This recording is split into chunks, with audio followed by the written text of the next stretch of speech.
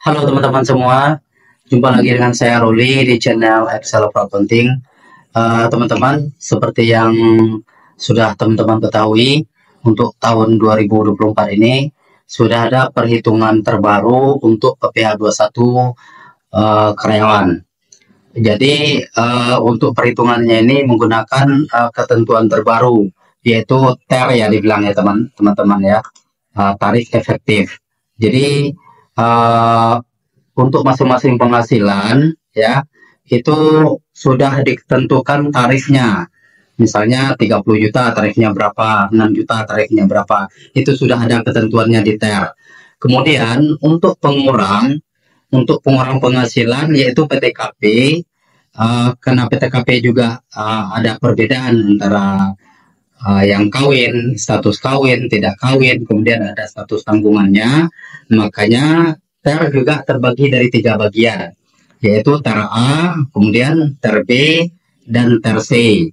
Jadi uh, aturan ini sudah sudah disampaikan oleh dari Dirjen Pajak ya teman-teman ya, ataupun melalui Menteri Keuangan dan sudah disebarkan ke masing-masing WP.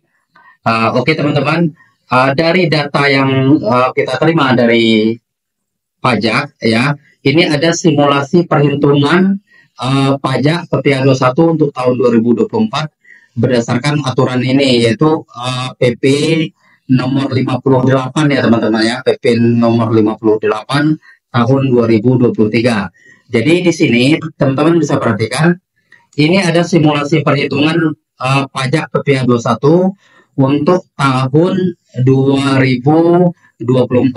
Saya bacakan soalnya, saya bacakan uh, case-nya.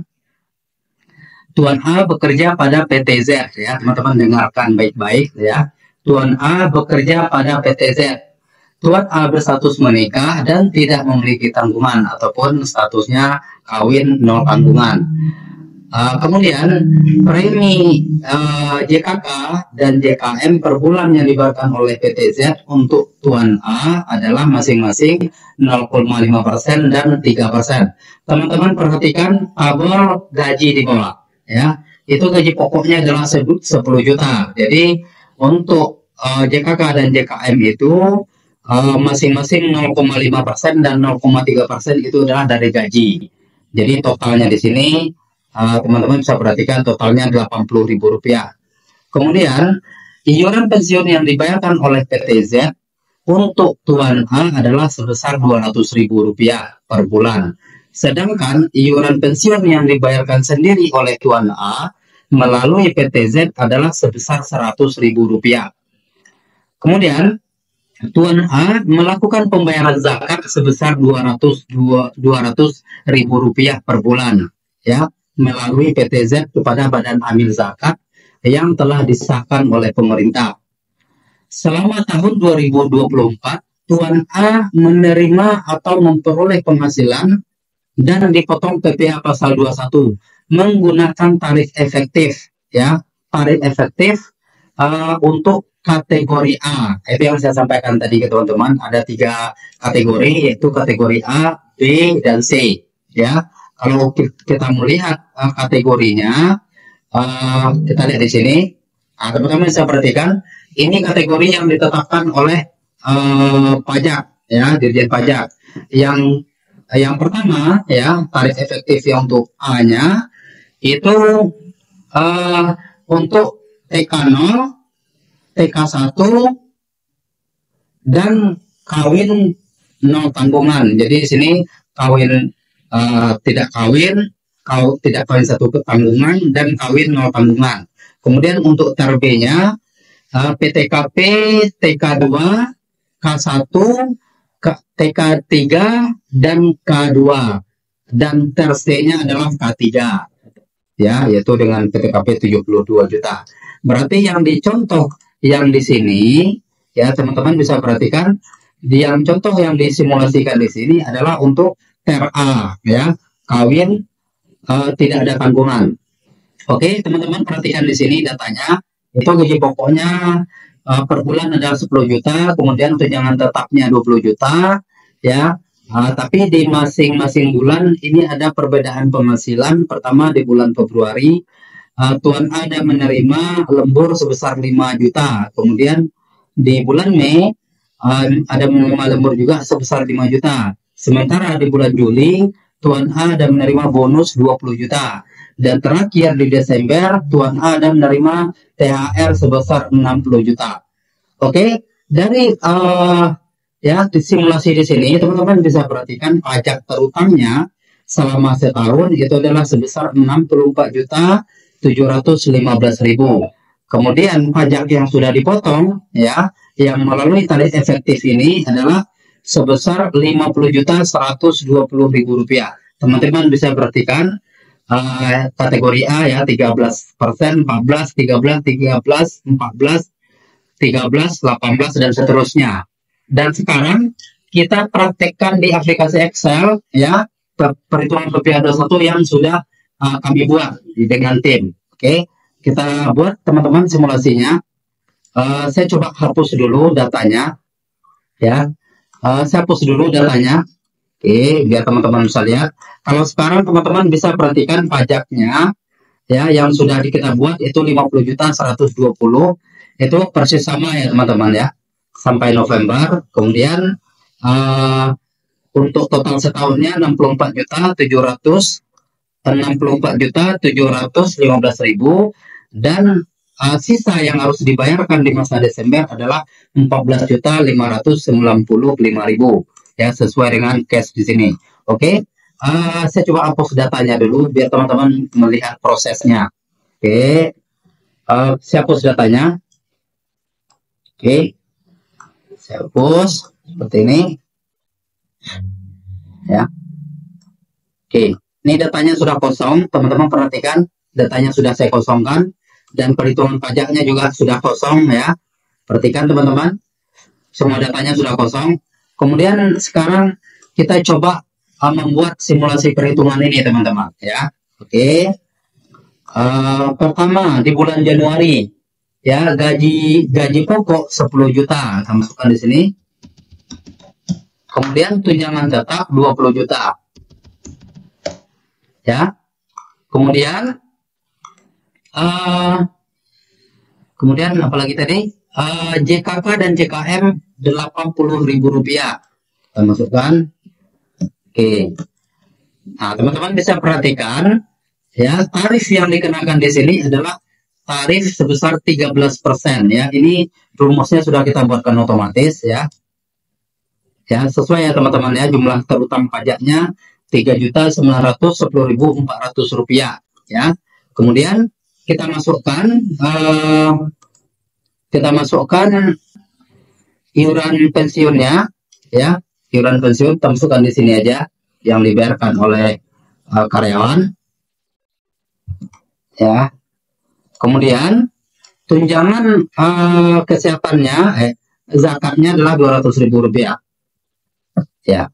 Yang di sini teman-teman bisa perhatikan yang di sini ini tidak mempengaruhi untuk perhitungan masa Januari sampai dengan November ya.